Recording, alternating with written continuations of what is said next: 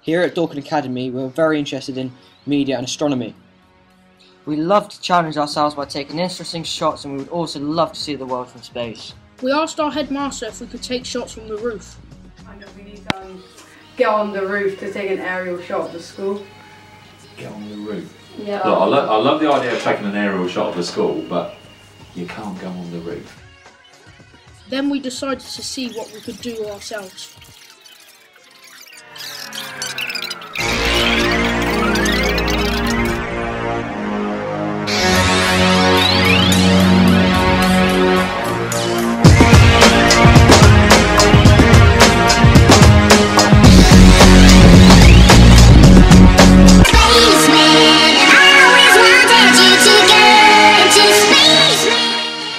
We will continue our quest to get an aerial shot of the school, but please consider us.